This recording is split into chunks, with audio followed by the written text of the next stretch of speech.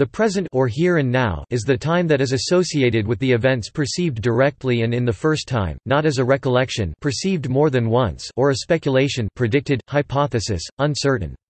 It is a period of time between the past and the future, and can vary in meaning from being an instant to a day or longer. In radiocarbon dating, the present is defined as AD 1950. It is sometimes represented as a hyperplane in spacetime, typically called now. Although modern physics demonstrates that such a hyperplane cannot be defined uniquely for observers in relative motion. The present may also be viewed as a duration see specious present.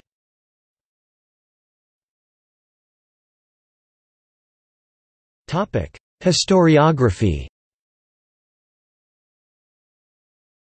Contemporary history describes the historical timeframe that is immediately relevant to the present time and is a certain perspective of modern history.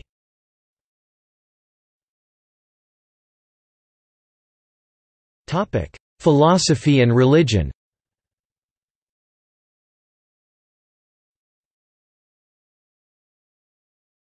Topic: Philosophy of time The present raises the question, how is it that all sentient beings experience now at the same time? There is no logical reason why this should be the case and no easy answer to the question.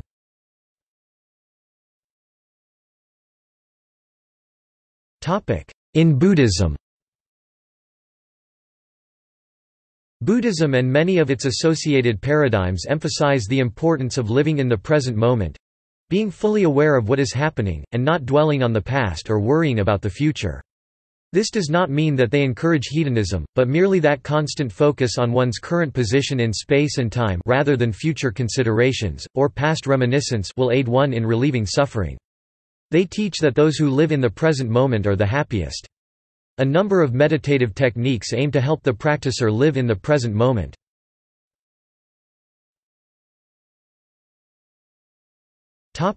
Christianity and eternity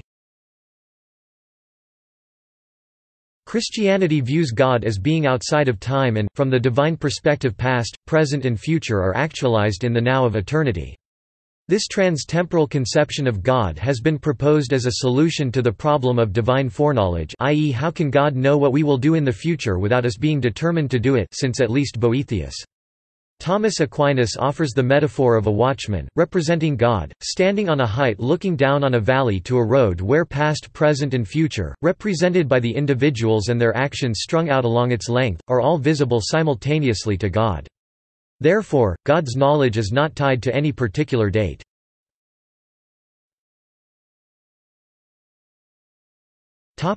Physical science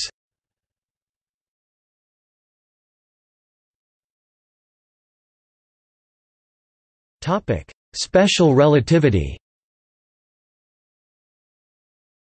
The original intent of the diagram on the right was to portray a three-dimensional object having access to the past, present, and future in the present moment fourth dimension. It follows from Albert Einstein's special theory of relativity that there is no such thing as absolute simultaneity. When care is taken to operationalize the present, it follows that the events that can be labeled as simultaneous with a given event, cannot be in direct cause-effect relationship. Such collections of events are perceived differently by different observers. Instead, when focusing on now as the events perceived directly, not as a recollection or a speculation, for a given observer, now takes the form of the observer's past light cone. The light cone of a given event is objectively defined as the collection of events in causal relationship to that event, but each event has a different associated light cone. One has to conclude that in relativistic models of physics there is no place for the present, as an absolute element of reality. Einstein phrased this as, People like us, who believe in physics, know that the distinction between past, present, and future is only a stubbornly persistent illusion.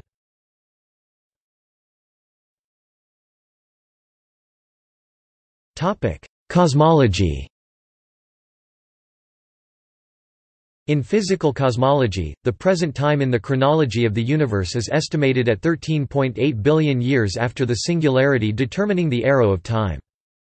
In terms of the metric expansion of space, it is in the dark energy-dominated era, after the universe's matter content has become diluted enough for metric expansion to be dominated by vacuum energy, dark energy.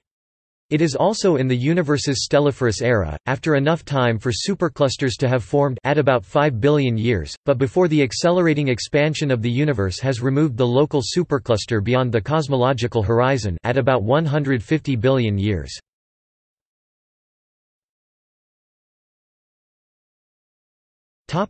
Grammar In grammar, actions are classified according to one of the following 12 verb tenses, past past, past continuous, past perfect, or past perfect continuous, present present, present continuous, present perfect, or present perfect continuous, or future future, future continuous, future perfect, or future perfect continuous. The present tense refers to things that are currently happening or are always the case. For example, in the sentence, "'She walks home every day'", the verb, "'walks' is in the present tense because it refers to an action that is regularly occurring in the present circumstances. Verbs in the present continuous tense indicate actions that are currently happening and will continue for a period of time.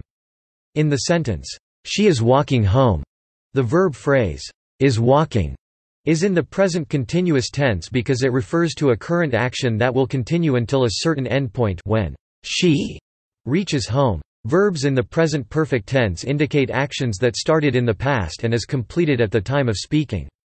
For example, in the sentence, "'She has walked home'", the verb phrase, "'has walked' is in the present perfect tense because it describes an action that began in the past and is finished as of the current reference to the action. Finally, verbs in the present perfect continuous tense refer to actions that have been continuing up until the current time, thus combining the characteristics of both the continuous and perfect tenses.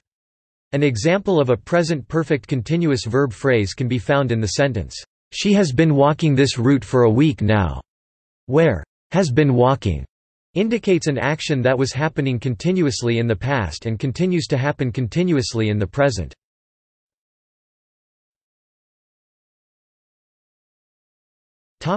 See also.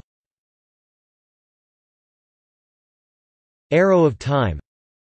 Contemporary history Deixis Philosophical presentism Time perception Specious present Near real-time computing